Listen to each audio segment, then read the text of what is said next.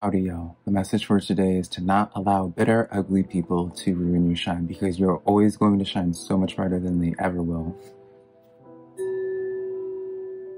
Hey girl. Hello, my beautiful Gemini. How are you doing? My name is Simply Velca, and today I'm going to be doing your weekly you versus them reading between you and your person. Now, Gemini, I also do your weekly general reading for your zodiac sign, which I'll leave a link to over here for you to check out at a later point if you would like. But when it comes to any of my readings, Gemini, be sure to rely on your intuition because put it in perspective, I'm just a man reading some tarot cards to you. You know your situation better than I ever possibly could, so take the cards that resonate and leave what doesn't because I'm not going to be offended by it whatsoever. In Gemini, if you find some cards that resonate with you, I would love for you to let me know how the cards resonate with you in the comments below because that's how I keep up with y'all through the comments. If you do find a card that resonates with you, Gemini, I would appreciate it for you to take the time to give this video a like and subscribe because it does help out my channel a lot and I always am super appreciative of it when you guys take the time to do that for me. And finally, Gemini, before we get into this reading, I just want to remind you that this reading's here not to make a decision in your life. I'm just here to give you some perspective, something for you to consider as you go throughout your week. I'm not here to make a decision in your life because it's your life to live, not mine, right? Keep that in mind. So with all that being said, Gemini, let's start getting into your reading now. I started out your reading with some general energy cards. So I pulled two tarot cards, Gemini, and then a Oracle Moon card for you. I'll start with the Oracle Moon card. Uh, we have the Full Moon in Cancer for you, Gemini. This card says a personal issue reaches a resolution. So, right on, I mean, I feel like this card's pretty self-explanatory, right, Gemini? If you guys have been in this, um, right? The easy way to call this is just like if you guys have been going through some type of conflict, Gemini, this is definitely a week of where um, maybe things aren't going to necessarily be instantly solved this week, Gemini, but things are definitely going to start clearing up. The air is going to start being cleared a little bit. You might feel a little bit of um, tense energy still, right? There's still maybe some remnants of that, but I do see um, progression when it comes to this situation. Um, I don't want to like just say right off the bat being like, okay, yeah, this connection is going to just like work itself out and it's going to need to be perfect, right? Because this issue reaching a personal resolution, like this is all about you, Gemini. This isn't talking about an, an, encompassing thing. This is talking about you will no longer have to deal with these issues. Like your personal issue reaches a resolution. So they may still have issues, but you're going to be at peace with them regardless of the outcome, right? Regardless of if this connection continues or if you see this connection as something that is the conflict or the issue that needs to reach a resolution by completing that cycle and moving on, right? So the two tarot cards I have for you as well, Gemini, are the King of Discs and the Eight of Wands. So this is you. I see this as you because, and this is partially why I also wanted to stress, Gemini, that this is like personal issues being resolved within you, not with just like the situation as a whole, because the Eight of Wands is talking about your self-empowerment, right? I feel like you are definitely in this place of starting to build a lot more confidence, or at the very least, more confidence in this situation, Gemini. You are in this place of seeking stability, and it's almost like you're kind of realizing where what was causing the disruption or how something was causing some disruption right? For some of you guys it could have just been a misunderstanding. Other of y'all you may just be able to like look at this person and be like you know what? This person just isn't meant to be in my life right now. Right?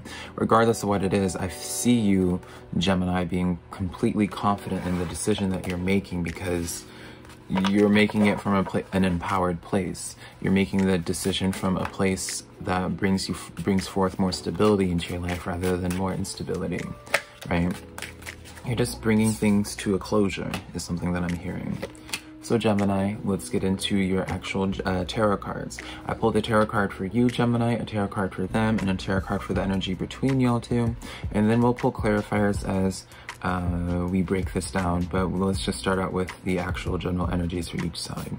We have the King of Cups for you, so following into that King suit, uh, into your energy, Gemini. King of Cups, this is again, more energy of where you are completely um, at peace with decisions that you are making this week. You are in this place of probably just not feeling guilty Gemini. That is something that I'm hearing perhaps every other time or times before this week. Gemini, you've been in this place of possibly feeling guilty about wanting to set boundaries or possibly feeling guilty about a part that you played in it. Even if you actually take a step back and look at it that maybe you weren't playing a part, but maybe you did, right? Regardless what it is, you're finally, it's no longer, I don't see this as like a thing harboring too much inside you, festering too much inside you, the anxiety, like the bad feelings associated with this connection. Um, and it, I'm really interested to see like how this all pans out, Gemini, because it's like, you know, as I was saying in the general energies of things, it's such a, it's such an empowered place that you're at currently. You're really honoring what's in your thoughts. You're honoring your feelings at this point. It's finally like, Gemini, you're finally prioritizing yourself rather than prioritizing other people's feelings before the actions that you take, right?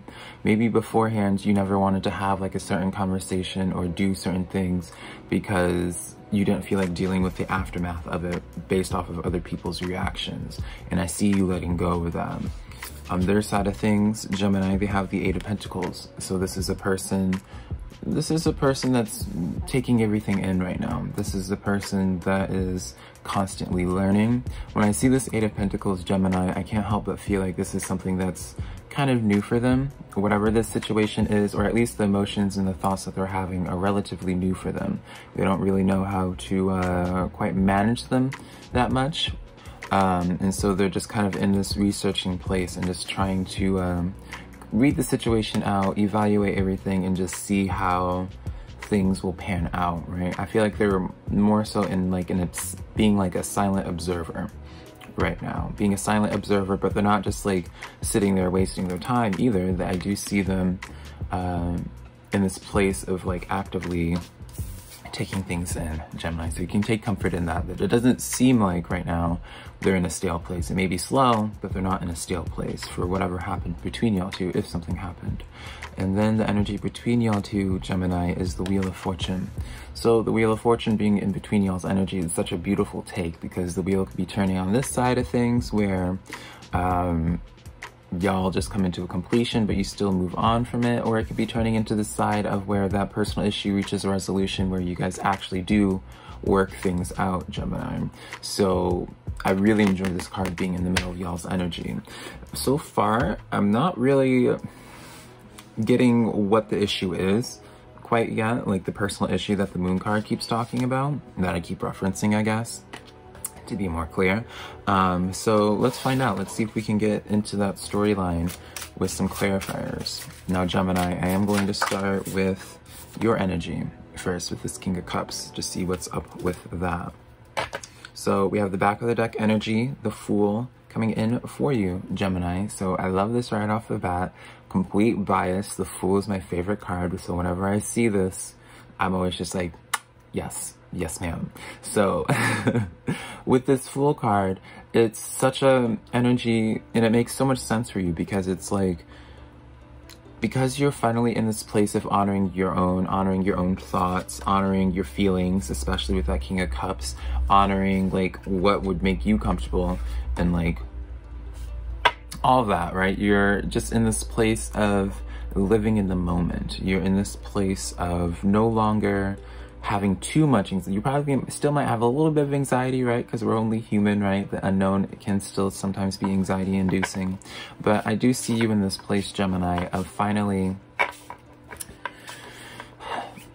taking risks isn't the word for it, but I guess it's the only word that I can think of, But where it's just like the risks being like what would normally be something that you would you would avoid trying to deal with, right? So let's say like that risk from before of um, you didn't want to do like a certain thing, like you didn't want to go out with a certain friend because you know it would trigger this other person here and it just wasn't worth the headache, right? You're taking that risk now. So that's what I mean by that risk is something that's just like something that you used to just be overtly worried about triggering in someone or upsetting someone or dealing with some type of reaction from somebody, you're finally at this place where it's just like, you know what?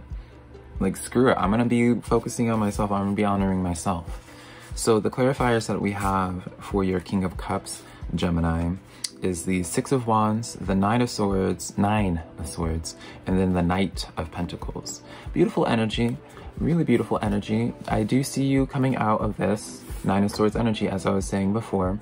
Now, the Nine of Swords energy is that anxious energy. It's that energy of um, those sleepless nights. You look at this individual, they just keep waking up in the middle of the night and like being clouded with like those anxious thoughts, with that overthinking, right? It's this energy of where are, are wondering it's like am i enough? Am i doing enough? What are they going to do? What are they thinking and all that? I really see you finally at this place. Of just kind of like moving on from this because it's just like and it's like next, it's just, I just keep hearing you going like next, like let's keep it moving, right? And keep it moving as you do, uh, Gemini, because with this Knight of Pentacles and the Six of Wands, now honey, the uh, Six of Wands is that victory card.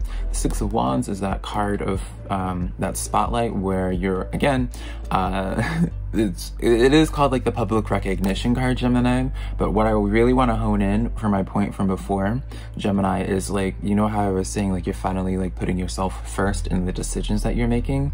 This is it. Like you're finally putting a spotlight on yourself. You're finally uh, almost dare I say like Gemini just being like acknowledging yourself for the human that you are and the wants and needs and feelings and thoughts that you have finally because no one else seems to be doing it in your life so it's like you have to take that step and you're identifying that now. You're identifying like what you need to do to take care of yourself because um, other people aren't going to do that for you right? It's a harsh life lesson to learn which sucks that we have to go through it sometimes, right? In this Knight of Pentacles, you're just going out, again, into that uncharted territory. I can't, I don't, I already shuffled the deck a little bit, Gemini, so I can't reference the Fool again, but that Fool card, um, goes perfectly for that Knight of Pentacles because I always say the Knight of Pentacles is going into the uncharted territory, um, seeking more stability, seeking to widen their comfort zone, to widen their range of um, their safety net, you know, to really just go, yeah, go and explore uncharted territories, carrying with them as that Nine of Pentacles, that Fool energy. So it's almost just like you don't really have this fear anymore. With that King of Cups, you're just completely in your own thoughts. So let's close out this row with the Necronomicon. Five of Swords. Now, Five of Swords, this imagery alone, I feel like is pretty self-explanatory, isn't it? Where, like, you're kind of, like, you probably felt like you were in this place before where, like, maybe you even felt like a little bit attacked, Gemini, is something that I'm hearing.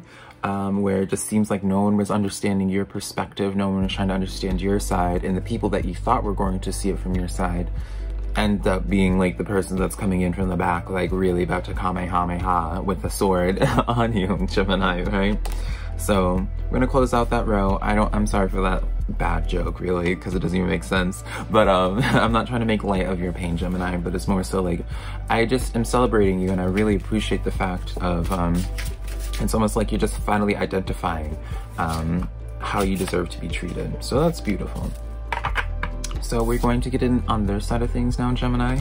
With that Eight of Pentacles, we're gonna see what's up with them, see what's going on, the Eight of Pentacles. And of course, the card dropped, so I don't even know where the card, oh, there it is, honey. so to say, I don't even know where that card freaking went. So Knight of Wands, Gemini. Knight of Wands is the card that flew out. So this is a person extremely passionate, um, I want to say young, but I mean, this could be of all ages, right? But I want to say more so they're probably a little bit more youthful minded or like when they put their eye on something, then they kind of like focus on that, right? I'm taking this more as like a character trait more than like telling me like a storyline to be honest here. Uh, the Empress card, uh, they, it's really interesting Gemini because I really don't, I'm gonna be honest here Gemini, so don't shoot the messenger, especially if the person that you're thinking about really did hurt you. But I don't see this person having necessarily bad intent, at least in this headspace now. Because with this Empress card, again, this is about growth. This is like the Eight of, Pent Eight of Pentacles but on steroids. Like it's a beautiful card to have. Um, so they're, again, in this place of learning. And perhaps when they got into this place of learning, maybe they're realizing what it is that they want, right? And they're going forward um, towards you with that Knight of Wands based off of passion. But um, yeah, let's start seeing what is the clarifiers for this. if I can place this deck down, honey. wow, a lot of major arcana. So, Okay, let's break this down, Gemini. We have the World card for them, confirming what I was thinking, the Justice card, and then the Eight of Cups coming in for them. So, I almost see this as uh, Gemini, someone identifying the cycle that they were in. They're, you know, how I was talking about, like, they're in this place of learning, it does seem like they were in this place of learning and seeing the cycles that they constantly had in their lives. So maybe Gemini, they realize that they're always just like really bad with communicating, or if they get triggered, then they just emotionally react really strongly, right? And they probably weren't aware of that issue from before, right? They weren't aware of it. And so, um, during that self-reflection phase that they've been going through in this learning phase, they kind of realized what it is that they need to um, break out of, breaking out of that chain. So it's just like, okay, they identify the problem being like, okay, communication is my problem. I need to work on that, which is fine. Beautiful. Eight of Cups in the Justice card. I don't know if this person made the choice to walk away before Gemini because this could be in two different storylines where it's just like this person made a choice to walk away in, in the past because I do kind of get this as like a past energy. So whether it's like they walked away or you walked away, Gemini, someone walked away and I'm getting, I'm kind of just getting the sense it's like them, even if they like, it wasn't like physically walking away from you, just emotionally detaching from the situation because of like their own cycles with that world card uh, that we were just talking about, Gemini. And this justice card comes in, the Libra card, um, brings things into balance. I see them identifying um, the mistake through something being walked away, whether it's like they realizing like what it is that was out of balance in their life that um, caused you to walk away, Gemini, or if they walked away, they're realizing like the mistake that they made in walking away, and that explains why they have this Knight of Wands um, coming towards you. So regardless what it is, if they're the one that took off, they're coming back, trying to go back to you, or if they're if you're the one that moved on, Gemini, they're trying to go after you after they realize what it is. The World card, they're really going through a lot of transitions right now, Gemini. Um, not an excuse for their behavior, but especially with all these major arcana, especially with that World card coming in twice for them, uh, did they? Yeah, they did get the world card twice. I thought I was crazy. I wasn't seeing it for a moment. Um, they definitely are going through some heavy transitions, Gemini. So, um, take delight in the fact that they are in this place of self-reflection. They are learning. They probably do see um, where it is they could have improved in the situation. So, Gemini, let's wrap up this reading with this Wheel of Fortune. What is the future of this connection? What can we hope for? What is best case scenario? All right we have for you the Hermit card, Five of Swords coming in. I was getting the Hermit for their side, Six of Pentacles. So Six of Pentacles, I do feel like communication is going to happen this week. I do feel like, um, there, because there's like this common theme of balance, being things being brought into balance. Um, and that's how this re issue reaches a resolution of things just coming into balance through some introspection, through some self-reflection, right? Through hermiting a little bit, having time away from one another, right? Five of Swords, um, I do see this just as, again, I want to note in this deck too, like you see individuals walking away, both of them all kind of walking away, really. So it's just like, yeah, it does seem to be like some distance needed to be had to reflect, to see what's going on, and then now communication can start. I don't know how that communication is going to start. I do kind of see it from their side of things, Gemini, with that Knight of Wands, Queen of Cups as the closing energy. Um, this is, again, I just see this as someone, I just see, I see clarity. I see clarity coming into the situation, coming in for you. So regardless of how this situation pans out, even if you choose to reject them, I feel like you're going to get closure in the situation, Gemini, which I think is just so valuable, so beautiful. So that's the reading that I have for you, Gemini. If you enjoyed this reading, be sure to share in the comments below which card called out to you. Be sure to give this video a like and subscribe, and then also share my videos with a friend that you think might be into my videos. Until next time, Gemini, I love you so much. Bye.